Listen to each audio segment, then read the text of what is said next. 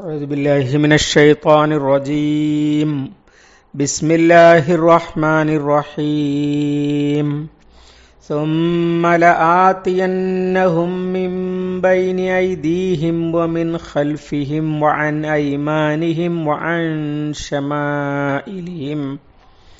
ولا تجد أكثرهم شاكرين. صدق الله العظيم. സൂറത്തുൽ അറാഫിലെ പതിനേഴാമത്തെ ആയത്ത്. സുമ്മ എന്നിട്ട് ല ആത്തിയന്നഹും ഞാൻ അവരുടെ അടുത്ത് ചെല്ലുക തന്നെ ചെയ്യും അല്ലെങ്കിൽ അവരുടെ അടുത്ത് വരിക തന്നെ ചെയ്യും. മിൻ ബൈനി ഐദീഹിം അവരുടെ മുന്നിൽ നിന്ന് അല്ലെങ്കിൽ മുന്നിലൂടെ. ഒമിൻ ഖൽഫിഹിം അവരുടെ പിന്നിലൂടെയും. ഐമാനിഹിം അവരുടെ വലത്തു നിന്നും വഅൻ ഷമായിലിഹിം അവരുടെ ഇട ഇടതുകളിൽ നിന്നും വലതുകളിൽ നിന്നും ഇടതുകളിൽ നിന്നും അഥവാ വലതു ഭാഗങ്ങളിൽ നിന്നും ഇടതു ഭാഗങ്ങളിൽ നിന്നും. വലാ തജിതു നീ കാണുകയില്ല അക്സറഹും അവരിൽ അധിക പേരെ ഷാക്കിരീൻ നന്ദിയുള്ളവരായിട്ട്. ഇബ്ലീസ് അള്ളാഹുവിനോട് പറഞ്ഞ മറുപടിയുടെ രണ്ടാം ഭാഗം. എന്നെ വഴിതെറ്റിച്ചതിൽ ഞാൻ അവരെയും കാത്ത് നിന്റെ മുസ്തഖൈമായ സിറാത്തിൽ ഇരിക്കുക തന്നെ ചെയ്യും എന്ന് പറഞ്ഞല്ലോ. ശേഷം ഇബ്ലീസ് തുടരുകയാണ്. എന്നിട്ട് ഞാൻ അവരുടെ മുന്നിലൂടെയും പിന്നിലൂടെയും അതുപോലെ വലതുഭാഗങ്ങളിലൂടെയും ഇടതുഭാഗങ്ങളിലൂടെയും ഞാൻ അവരുടെ അടുത്ത് ചെല്ലും. അഥവാ അവരുടെ ചുറ്റും ഞാൻ ഉണ്ടാകും വലാ തജിദു അക്സറഹും ഷാക്കിരീൻ. അവരിൽ അധിക ആളുകളും നന്ദിയില്ലാത്തവരായിരിക്കും. ഇബിലീസ് ഇബിലീസിന്റെ തീരുമാനം അല്ലെങ്കിൽ ഇബിലീസിന്റെ മോഹം ഞാൻ എന്താണ് ചെയ്യാൻ പോകുന്നത് എന്ന് അള്ളാഹുവിനോട് പറയുകയാണ്. ഇന്നലെ സൂചിപ്പിച്ചതുപോലെ അള്ളാഹ്ക്ക് വേണ്ടത് അവനാ പറയുന്നത് തന്നെയാണ്. അങ്ങനെയാണ് അള്ളാഹു ആസൂത്രണം ചെയ്തിരിക്കുന്നത്. പക്ഷേ എങ്കിൽ പോലും അതൊന്നും അള്ളാഹുവിന് പ്രയഷ്ടമുള്ള കാര്യമല്ല. അള്ളാഹുവിന്റെ പദ്ധതിക്ക് എതിരല്ല അതുകൊണ്ട് അള്ളാഹു താല അത് തടയുന്നില്ല. ഈ മുന്നിലൂടെയും പിന്നിലൂടെയും വരുമെന്ന് പറഞ്ഞാൽ നമുക്ക് മനസ്സിലാകും അത്. അഥവാ ശത്രുവായിട്ട് നേർക്ക് നേരെ നേർക്ക് നേരെ ശത്രുതയിലൂടെ വരും പിന്നിലൂടെ വരുമെന്ന് പറഞ്ഞാൽ തിരിച്ചറിയാൻ കഴിയാത്ത വിധം വഞ്ചിക്കുവാൻ വേണ്ടി അവൻ വരും. അതുപോലെ ഇടത്തുനിന്നും വലത്തുനിന്നും വരും എന്ന് പറഞ്ഞതും അന്ന് മനസ്സിലാക്കപ്പെട്ടിരുന്നത് ചുറ്റുഭാഗത്തു നിന്നും എന്ന എന്നതിനെ ഒന്ന് വിശദീകരിച്ച് പറയാൻ വേണ്ടി. അറബിയിൽ ഇത്തനാവ് എന്ന് പറയും. അതാ കൂടുതൽ വ്യക്തതയ്ക്ക് വേണ്ടി പരത്തി പറയുക. ബലാഗയിൽ അങ്ങനെ ഒരു ശാഖയുണ്ട്. അങ്ങനെ ഇത്തനാബിന്റെ ഭാഗമായിട്ട് ഞാൻ അവരുടെ അടുത്ത് വരുമെന്ന് പറഞ്ഞാൽ മാത്രം മതി. പിന്നെ മുന്നിൽ നിന്ന് പിന്നിൽ നിന്ന് ഇടത്തു നിന്ന് വലത്തു നിന്ന് എന്നൊക്കെ ഇങ്ങനെ പരത്തി പറയുന്നത്. ആ വരവിന്റെ പിശാച്ചിന്റെ വഴിതെറ്റിക്കാനുള്ള ശ്രമങ്ങളുടെ വ്യാപ്തി നമുക്ക് മനസ്സിലാകുന്നതിന് വേണ്ടിയാണ് അള്ളാഹു താല അത് പറഞ്ഞിട്ടുള്ളത് എന്നാണ് വിശദീകരിക്കപ്പെട്ടിട്ടുള്ളത്. എന്നാൽ ഇപ്പോൾ ഈ കാലത്ത് അതിന് അതിനേക്കാളൊക്കെ വലിയ അർത്ഥം വെച്ചിരിക്കുകയാണ്. നേർക്കുനേരെ കാണുന്ന വഴിയിൽ പിശാച്ചിന്റെ പ്രകോപനങ്ങളും പ്രലോഭനങ്ങളും ഉണ്ടാകും. അതുപോലെ നമ്മളറിയാതെ നമ്മളെ വഴിതെറ്റിക്കാനുള്ള ശ്രമങ്ങൾ. അത് ഖുർആൻ തന്നെ സൂചിപ്പിച്ച സംഗതിയാണ്. അറിയാ പിന്നെ അൻ ബിഗൈരി ഇൽമിൻ. മനുഷ്യരിലുണ്ട് വേണ്ടാ വിനോദങ്ങൾ വിലക്ക് വാങ്ങുന്നവർ. അവരറിയാതെ അള്ളാഹുവിന്റെ മാർഗത്തിൽ നിന്ന് വഴിതെറ്റുന്നതിന് വേണ്ടി വഴിതെറ്റിക്കപ്പെടുന്നതിന് വേണ്ടി എന്ന് പറഞ്ഞല്ലോ. ഇങ്ങനെ നമ്മൾ പ്രത്യക്ഷത്തിൽ വലിയ കുഴപ്പമില്ലാത്ത കാര്യമാണെന്ന് വിചാരിക്കുന്ന സംഗതികളിലൂടെ പോലും പിശാച്ച് മനുഷ്യനെ കെണിവെച്ച് പിടിക്കും. അതുപോലെ ഈ വലത് ഇടത് എന്ന് പറയുന്നത് അന്ന് പറഞ്ഞതിനേക്കാൾ വലിയ അർത്ഥവ്യാപ്തി ലഭിച്ചിരിക്കുന്ന ഒരു കാലത്താണ് നമ്മൾ ജീവിക്കുന്നത്. ലോകം ഇപ്പോൾ രണ്ടാണ്. ഒന്ന് വലതുപക്ഷം ഒന്ന് രണ്ട് ഇടതുപക്ഷം. പരലോകത്തൊരു വലതുപക്ഷവും ഇടതുപക്ഷവുമുണ്ട്. അതല്ല ഈ പറയുന്നത്. വലത് നിലപാട് ഇടത് നിലപാട്. ഇങ്ങനെ പ്രത്യയശാസ്ത്ര അടിത്തറയിൽ സമൂഹത്തോടുള്ള കാഴ്ചപ്പാടിന്റെ അടിസ്ഥാനത്തിൽ ഇടത് സമീപനം ഇടതുപക്ഷ നിലപാട് വലത് സമീപനം വലതുപക്ഷ നിലപാട്. കേരളത്തിലെ ഇടതുപക്ഷവും വലതുപക്ഷവും അല്ല ഉദ്ദേശ്യം. ലോകത്തിൽ തന്നെ അങ്ങനെ രണ്ട് നിലപാടുകളുണ്ട്. പക്ഷേ രണ്ടിലും ഞാൻ വരുന്നാണ് ഇബിലീസ് പറഞ്ഞത്. അഥവാ മതം ദൈവം പാരമ്പര്യം സമുദായം ഇതിന്റെയൊക്കെ താല്പര്യങ്ങൾ എന്ന നിലയ്ക്ക് വളരെ ആത്മീയത സൽക്കർമ്മം ദാനധർമ്മം ഇങ്ങനെയൊക്കെയുള്ള കാര്യങ്ങൾ ചെയ്തുകൊണ്ട് തന്നെ മനുഷ്യനെ ഞാൻ വഴിതെറ്റിക്കും. ആ വഴിയിലൂടെ തന്നെ വഴിതെറ്റിക്കും. അങ്ങനെയാണല്ലോ. ലോകത്തിൽ ഒരുപാട് ആളുകളെ ഇബിലീസ് കെണിയിലാക്കിയിട്ടുള്ളത് പല നല്ല കാര്യങ്ങളും ആരാധന അനുഷ്ഠാനങ്ങൾ സേവനം സമുദായം ഇങ്ങനെയൊക്കെയുള്ള ബ്രാൻഡുകളിലാണ് ഒരുപാട് ജാഹിലിയത്തുകൾ നിലനിൽക്കുന്നത്. അതിന് ആത്മീയതയുടെ പുണ്യത്തിന്റെ ഒക്കെ ഒരു ഒരു മേലങ്കിയുണ്ട്. വേറൊരു ഭാഗം നേരെ തിരിച്ചാണ്. മനുഷ്യനാണ് പ്രധാനം. മനുഷ്യന്റെ പക്ഷം ഇങ്ങനെയാണ് ഇടതുപക്ഷ നിലപാടിനെ വിശദീകരിക്കാറുള്ളത്. മതമല്ല മതമല്ല മതമല്ല പ്രശ്നം. മനുഷ്യൻ പിന്നെ മനുഷ്യനാകുക എന്നൊക്കെ പാട്ടൊക്കെ നമ്മൾ അതൊക്കെ ഈ അടിസ്ഥാനത്തിൽ നിന്ന് വരുന്നതാണ്. രാഷ്ട്രീയ പാർട്ടിക്കാർ അവർക്ക് ആവശ്യമുള്ളതൊക്കെ പാടുന്നു മാത്രം. അങ്ങനെ മനുഷ്യനെ സേവിക്കുക എന്ന ഒരു നന്മയുടെ വഴിയിലൂടെ അതിലൂടെയും പിശാച്ച് പടച്ചവനിൽ നിന്ന് മനുഷ്യനെ തെറ്റിക്കാൻ വരും. എന്ന് അന്ന് തന്നെ പറഞ്ഞു വെച്ചതായിട്ട് ഇപ്പൊ നമുക്കത് മനസ്സിലാകും. വാൻ ഷമ ഇലിഹിം എന്ന് പറഞ്ഞാൽ.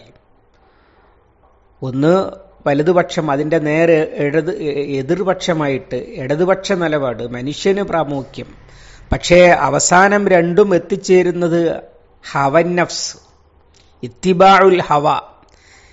ഞങ്ങൾ സൽക്കർമ്മം ഞങ്ങൾ നല്ല കാര്യം ചെയ്യും എന്ന് പറഞ്ഞാൽ ഞങ്ങൾ വിചാരിച്ചതുപോലെ ചെയ്യും. ഞങ്ങൾക്ക് തോന്നിയത് ചെയ്യും. അല്ലാതെ ഞങ്ങൾ പടച്ചവന് കീഴ്പ്പെടാനോ അവനെ അനുസരിച്ച് ജീവിക്കാനോ അവൻ പറഞ്ഞിടത്ത് നിൽക്കാനോ തയ്യാറില്ല. ഞങ്ങൾ ഞങ്ങൾക്ക് തോന്നിയതാണ് ചെയ്യുക എന്നതാണ്.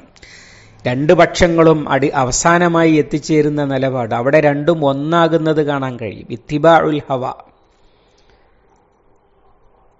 അവിടെ തമ്മിൽ തർക്കമില്ല പിന്നെ.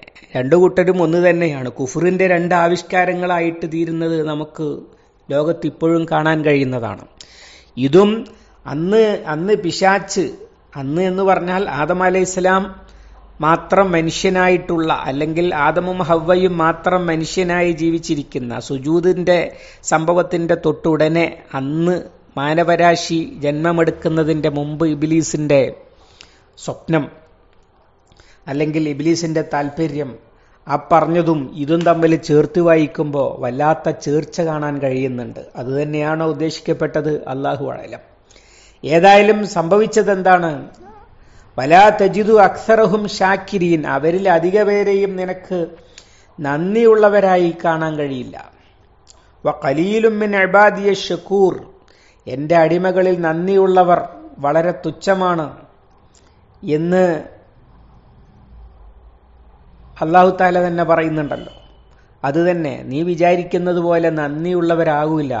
നീ ഇങ്ങനെ വലിയ സ്ഥാനത്തൊക്കെ കയറ്റിയിരുത്തിയിട്ട് കഴിഞ്ഞ ദിവസം വിശദീകരിച്ചതുപോലെ അത്യുന്നതങ്ങളിൽ അള്ളാഹു തൊട്ട് താഴെയാണ് അവന്റെ ഖലീഫയുടെ സ്ഥാനം. അതിന്റെ താഴെയാണ് മലക്കുകൾ ഉൾപ്പെടെയുള്ള മുഴുവൻ പ്രപഞ്ചത്തിന്റെയും സ്ഥാനം. അത്ര ഉന്നതങ്ങളിൽ നിർത്തിയ ഈ മനുഷ്യൻ അതൊന്നും തിരിച്ചറിയില്ല പഠിച്ചവനെ. അധിക പേരും നന്ദിയുള്ളവരാകൂല. ഞാൻ അതിനാണ് പണിയെടുക്കുക എന്ന് ഇബിലീസ് ഇബിലീസിന്റെ മോഹം താല്പര്യം പറഞ്ഞു. സൂറത്തു സബയിൽ അല്ല പറയുന്നുണ്ട് വലക്കത് സദ്ദക്ക അലിഹിം ഇബിലീസു ലന്നഹു. അവരുടെ കാര്യത്തിൽ ഇബിലീസ് അവന്റെ മോഹം സാക്ഷാത്കരിച്ചു അല്ലെങ്കിൽ അവന്റെ ഊഹം സാക്ഷാത്കരിച്ചു. ഫത്തബിഴൂഹു ഇല്ല ഫരീഖം മിനൽ മുഅ്മിനീൻ. മുഅ്മിനീങ്ങളിൽ നിന്ന് ഒരു വിഭാഗം ഒഴിച്ച് ബാക്കിയുള്ളവരെല്ലാം അവരെ പിൻപറ്റി. എന്ന് പറഞ്ഞാൽ മോമിനിങ്ങൾ പോലും ഒരുപാട് ആളുകൾ അവന്റെ പിന്നാലെ പോയി എന്നർത്ഥം. ഇവിടെ എന്തിനാണ് ഇങ്ങനെയൊക്കെ? നേരത്തെ വിശദീകരിച്ചതുപോലെ ഈ ഇത് ഒരു ഭീഷണിയുടെ സ്വരത്തിലാണ് ഇബിലീസ് സംസാരിക്കുന്നത്. പക്ഷേ അള്ളാഹു താലാക്ക് അതൊരു ഒരു ഭീഷണിയായിട്ട് ഫീൽ ചെയ്യുന്ന പ്രശ്നമില്ലല്ലോ. അള്ളാഹ്ക്ക് ഭീഷണിയൊന്നുമില്ല. അള്ളാഹു താല മുഅ്മിനും മുഹൈമിനുമാണ്. നിർഭയനും എല്ലാം അടക്കി ഭരിക്കുന്നവനുമാണ്. സൂറത്തുൽ ഇസ്രായേൽ ഇക്കാര്യം കുറച്ചുകൂടി വിശദമായിട്ട് അള്ളാഹു താല നമുക്ക് പറഞ്ഞു തരുന്നുണ്ട്. ഇബിലീസ് അള്ളാഹിനോട് ചോദിക്കുന്നു കാല അറായിത്തക്ക കറം യൗമിൽ ഇല്ല കലീല എന്താ നിന്റെ അഭിപ്രായം? നീ എന്നെക്കാളും ബഹുമാനിച്ച ഇവനുണ്ടല്ലോ. നീ എനിക്കിത്തിരി സമയം തരികയാണെങ്കിൽ അന്ത്യനാൾ വരെ എന്റെ എനിക്ക് അവസരം തരികയാണെങ്കിൽ ഞാൻ ഇവനെയും ഇവന്റെ ഇവന്റെ ഇവന്റെ സന്തതികളെ അല്പമൊഴിച്ച് ബാക്കിയുള്ളവരെ മുഴുവൻ ഞാൻ പിഴു നശിപ്പിച്ച് കളയുക തന്നെ ചെയ്യും. എന്നൊക്കെ ഇബിലീസ് വീമ്പളക്കുന്നുണ്ട്. അതിന് അള്ളാഹു അവിടെ ഒരു മറുപടി പറഞ്ഞിട്ടുണ്ട്. ആ മറുപടി ഇവിടെയും ബാധകമാണല്ലോ. കാലിദ്ഹബ് ഫമൻ തബി അക്കമിൻഹും ഫൈന്ന ജഹന്നമ ജസാ ഉക്കും ജസ അം മൗഫൂറ. നീയും നിന്നെ പിൻപറ്റിയവരും കൂടി പോകൂ. നരകമാണ് നിങ്ങൾക്കുള്ള പ്രതിഫലം. വസ്തഫ്സിസ് മനിസ്ത താഴ്ത്ത മിൻഹും ബി സൗത്തിക്ക വജിലിബ് അലൈഹിം ബി ഹൈലിക്ക വരജിലിക്ക വഷാരിക്കുഹും ഫിൽ അംവാലി വൽ ഔലാദി വൈദുഹും വമാ യൈദുഹും ഷെയ്ത്താനു ഇല്ലാ ഗുറൂറ. ഇന്ന ഇബാദി ലൈസലക്ക ലക അലൈഹിം സുൽത്താനുൻ വക്കഫാ ബി റബ്ബിക വക്കീല. നിന്റെ കുതിരപ്പടയെയും കാലാൾപ്പടയെയും അവർക്കെതിരെ നീ തിരിച്ചു വിട്ടുകൊള്ളുക. വസ്തു